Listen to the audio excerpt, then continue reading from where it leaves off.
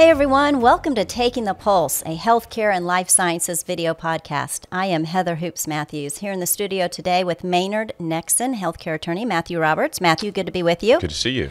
Joining us today on the Pulse is Adair Boroughs. She is the United States Attorney for the District of South Carolina.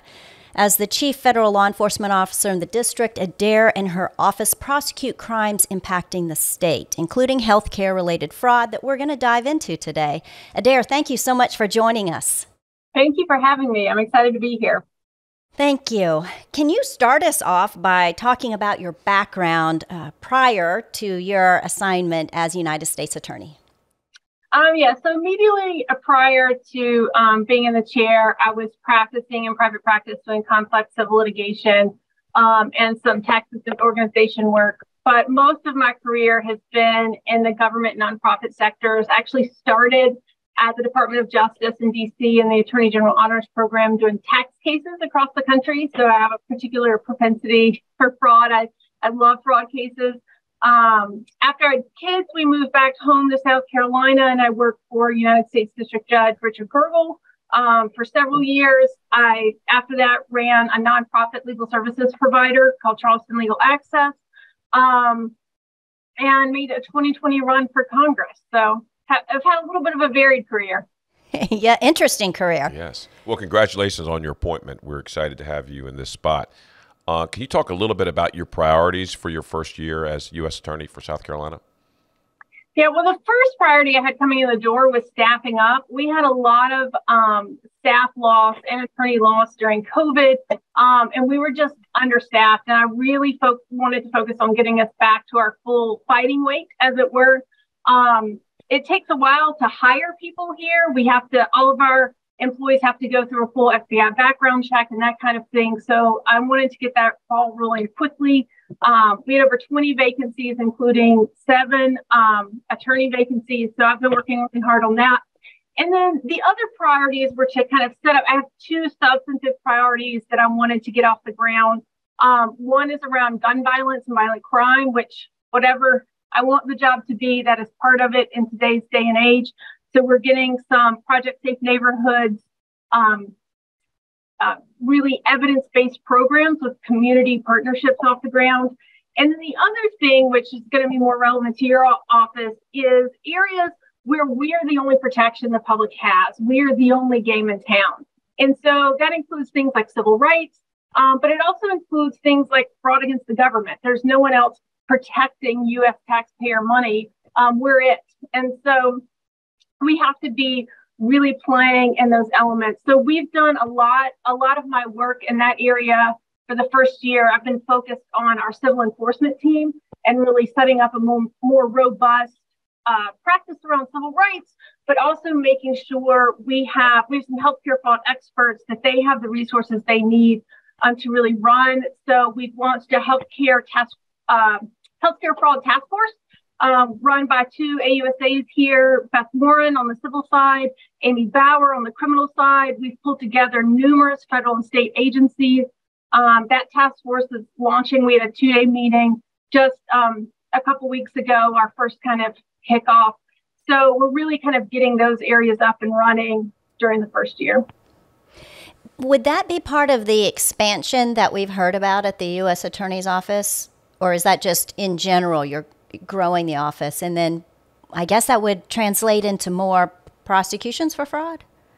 Yeah, so there's there's two parts of what you're seeing right now. One is not an actual expansion; it's just that we lost people, and we needed to get back to our kind of pre-COVID, pre-pandemic um, levels of enforcement and levels of staffing. And so you're saying that there's also new money in the 2023 budget for U.S. attorneys' offices across the country. Uh, both Congress and the administration really recognized how um, under resourced we were, were for the amount of work we need to do on the behalf of the American people. And so there's a process right now about how those resources get divvied up. I have um, put in for a lot of positions, and um, we should hear about that in a couple months, I expect but new attorney positions and new um, support staff positions to support specific things, um, specific priorities of the administration as well as Congress. So, for instance, one of the positions um, I'm competing for is a as a AUSA to do nothing but COVID fraud cases. Um, there, I also am competing for positions um, to do civil rights work. So there's a variety of different positions out there, and we'll know the outcome of that in a couple months. I see. We know the federal government has increased uh, its funding for fraud and abuse enforcement, and you mentioned that your office is the sort of the only game in town in terms of protecting the federal uh, system and its its spending of money within the healthcare system. Can you talk a little bit about your investigation of fraud and abuse cases? What's the policy behind that? Obviously, you want to protect the government's you know money, um, but how how do you look at these office these type of cases in the healthcare space? Yeah, so protecting the fisc and protecting taxpayer money is a big part of it. It's also protecting the public.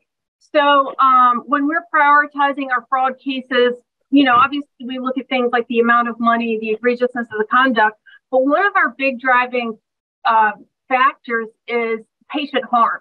Or do we have things that involve patient harm or potential patient harm with vulnerable uh, groups like the elderly or children or veterans?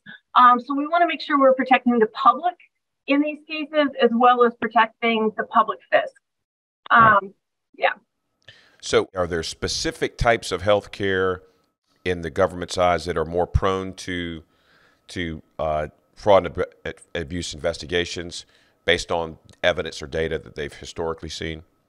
Yeah, so kickbacks are a really big area for us. So, like, we have criminal enforcement, we have civil enforcement, we have both of those.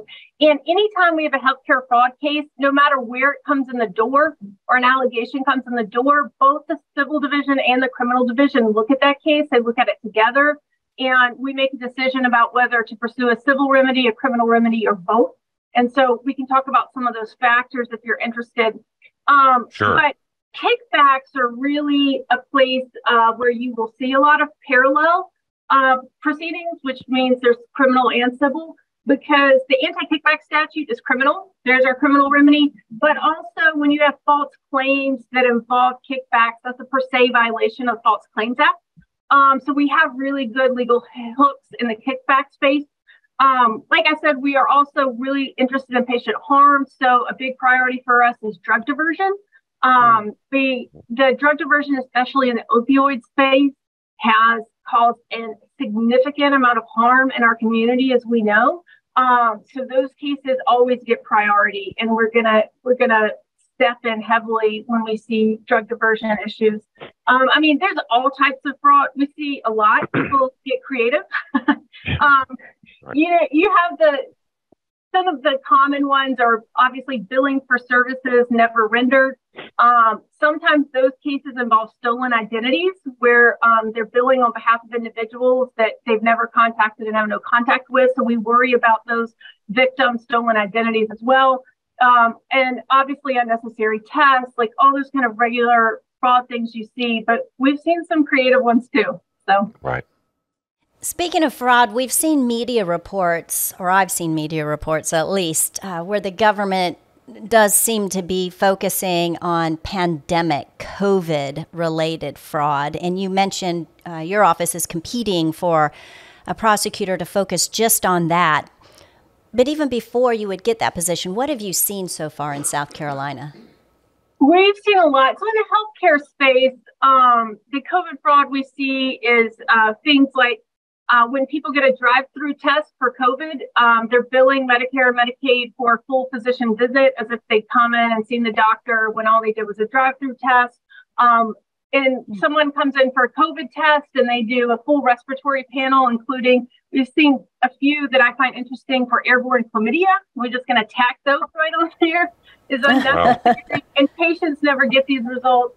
Um, so that kind of stuff happens in healthcare fraud. I will say when DOJ is talking about COVID fraud, most of this from a dollar perspective is not healthcare. It's things like the uh, PPP loans, EIDL loans. Mm. Um, we have a lot of people that have created fake businesses to get PPP loans and small business loans, um, unemployment insurance fraud.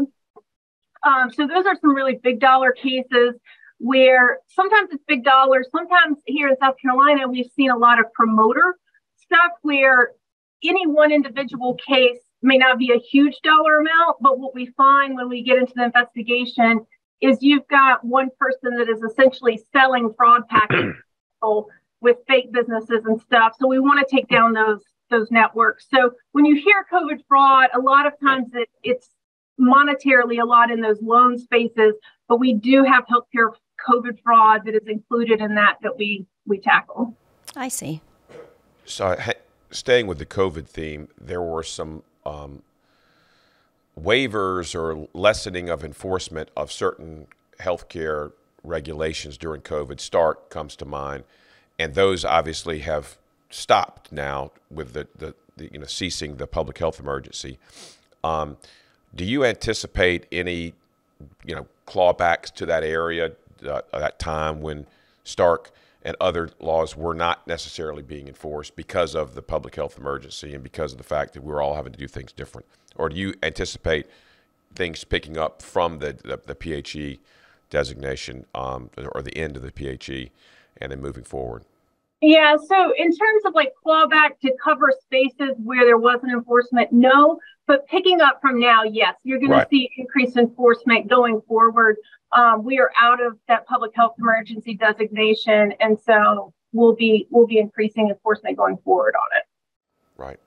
Uh, and you talked about false claims. That's obviously a big part of the healthcare fraud and abuse, the Federal False Claims Act, which yeah, allows for uh, relators or whistleblowers to bring a claim on behalf of the government. The government can intervene, and then if there's a recovery, that the relator can get can get a recovery. I think last year DOJ uh, recovered in excess of two billion dollars from false claims cases in the fiscal year 2022.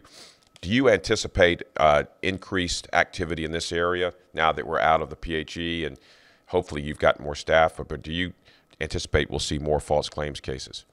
Yes, I do. Absolutely. In the last two years, our office has recovered 220 million in healthcare fraud. So we are punching above our weight um, in, in terms of compared to national numbers. Um, but we are we are expecting an increase. And part of it is we do have an expertise around healthcare fraud in my office, um, some really incredible attorneys. And this task force that we're setting up, part of the goal of this task force is to move those healthcare fraud cases move these false claimants cases faster, more efficiently, and effectively, right. which is going to give us capacity to do more and more of them. And as we step up more, that that will be true too. So this is when I'm talking about this task force, we're talking about you know FBI, HHS, OIG, the VA, um, the AG's office, and their their uh, Medi- Medicaid fraud unit. We're all coming together, meeting quarterly. There's data mining um, we're really trying to step up how quickly we move these cases and so how fast we can do them and so that we have more capacity to do more. We have covered a lot of topics. Our time has flown by. It has. Um, Adair, thank you so much for coming on and, and talking about so much with us today. You've had an interesting career. It sounds like it's just going to, that's going to be a theme that continues as you serve in your current role. But on behalf of everyone here at the Pulse, thank you for your time today. Thank you so much. I appreciate you having us and highlighting the work of our office. Yes, keep up the good work. Uh, on behalf of Matthew and the team here at The Pulse, thank you for everyone who watched our video podcast today. We hope you learned a little bit more about the federal side of enforcement and the protection of taxpayer money and people in general. And we look forward to seeing you next time, right here on Taking the Pulse, a healthcare and video and life sciences video podcast.